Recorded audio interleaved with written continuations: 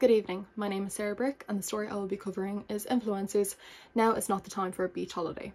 Recent fines introduced to those who are travelling out of the state without reasonable excuse has gained a lot of traction and was viewed as overdue by many.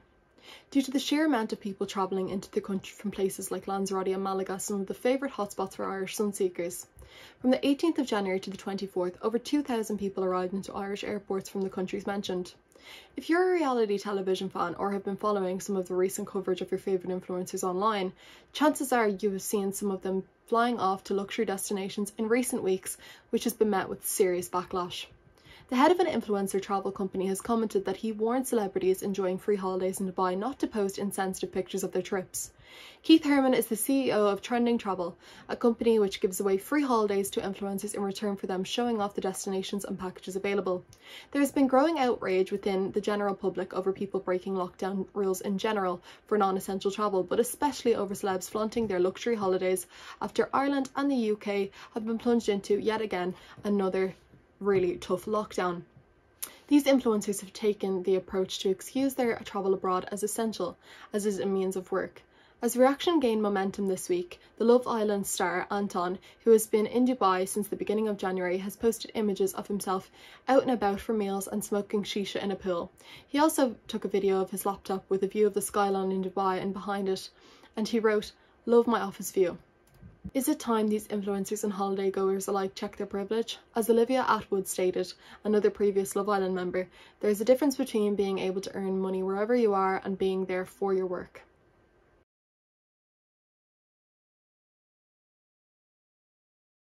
We're speaking with Joe, who's the Leaving Cert student. Um, so Joe, where are you actually from yourself? Where are you living? Uh, Rush. Rush. Fab. And describe the end of your fifth year in school then. What happened when coronavirus hit first? Uh, when it first hit, it was just uncertainty, really. Um, I think we are all kind of hoping to get out of school because we thought it'd be a good two weeks off, three weeks off. And then we got out, whatever, and just turned into online learning. It was, it was hard at first, but then you kind of get into the groove of it.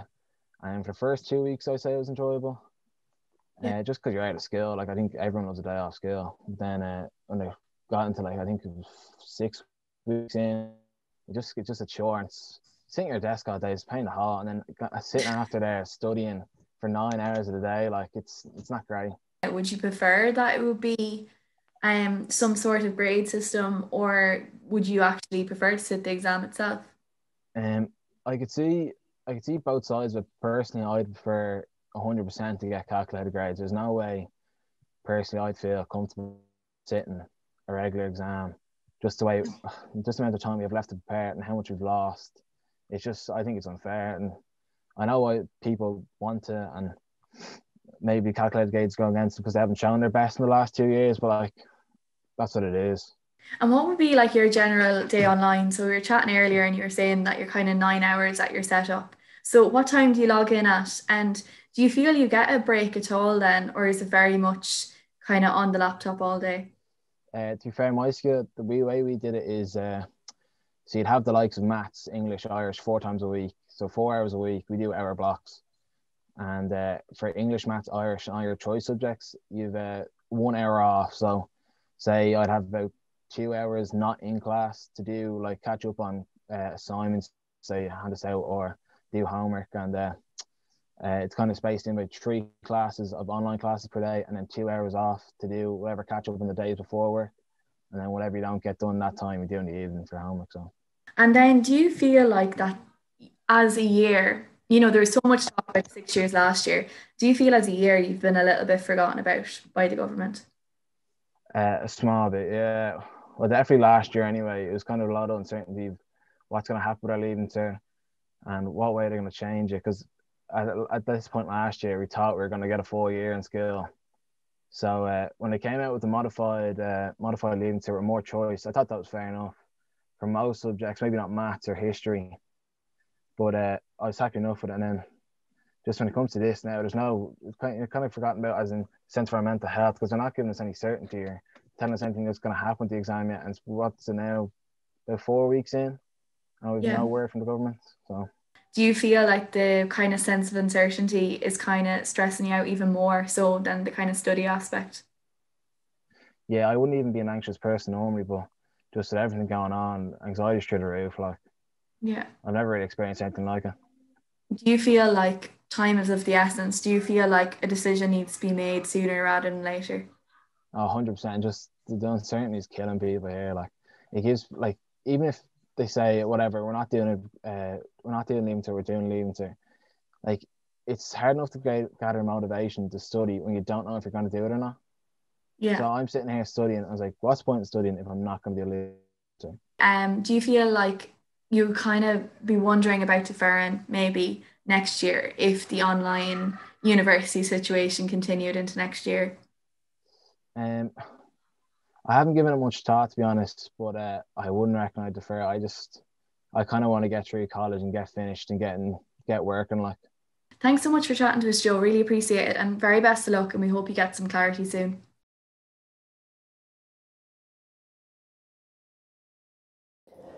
Thousands of people have been detained across Russia at Alexei Navalny protests. Protesters across Russia have held demonstrations for the second weekend in a row in support of the well known critic of the Kremlin, Alexei Navalny. Over 5,000 people in hundreds of cities were detained, including Moscow and St. Petersburg.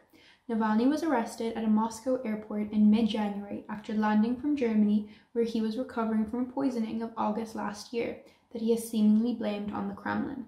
The 44 year old anti corruption campaigner is being detained in a Moscow detention center and is potentially facing prosecution based on several different crimes.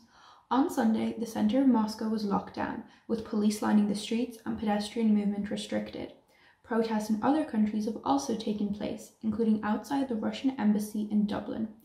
The US Secretary of State Antony Blinken has condemned the quote harsh tactics used against protesters, with the Russian Foreign Ministry accusing the United States of, quote, gross interference using online platforms to promote these protests. Russian authorities have issued warnings and threatened potential criminal charges against protesters. The head of Russia's Human Rights Council has called the threats a, quote, provocation, as they have nothing to do with protecting rights. Navalny's wife Yulia was detained by police on Sunday after her arrival at one of these rallies, but was released shortly. She was seen encouraging supporters to attend the rallies on Instagram with a post of a picture of her family. On Tuesday, Navalny appeared in court in Moscow, where prosecutors were sentencing him to three and a half years in prison for violating the terms of a suspended sentence for fraud in 2014 by not returning to Russia immediately after recovering from the nerve agent poisoning in August, to which he responded to that he was in a coma the entire duration of his time in Germany. He is also facing up to 10 years in prison on separate charges of embezzling from his foundation, which he denies, according to the Financial Times.